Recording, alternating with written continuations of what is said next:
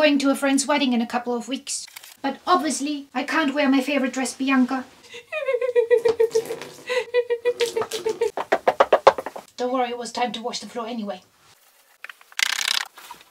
So, what do we do?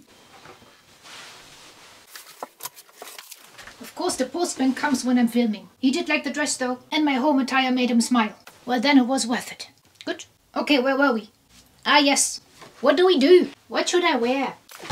Easy. I have five other dress options, and we'd like you to tell us which one's the best. Thank you. Let's do it! Okay, bye, Bianca. Bye! Bye, Belinda. Bye, Andrea.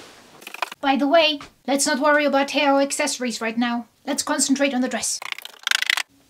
Option 1. My beautiful second-hand Phase 8 dress. So that's option 1. Option 2. A cute autumnal dress by Karen Millen. Nice. I like it.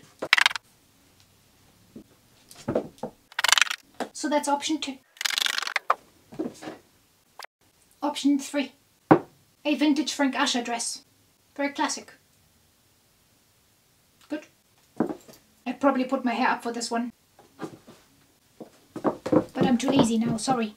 Actually, it might have a little bit too much white in it. What do you think? Hmm. Number 4. Another second-hand Phase 8 dress. I really like the bottom. But, let's have a look at the last dress. Option 5. She's also a Phase 8 dress. And she sparkles.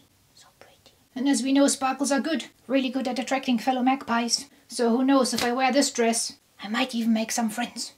Would be quite good.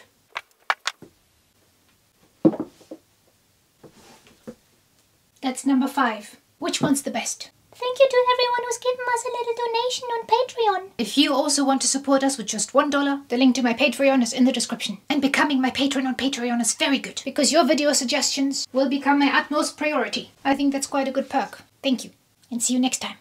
We love you.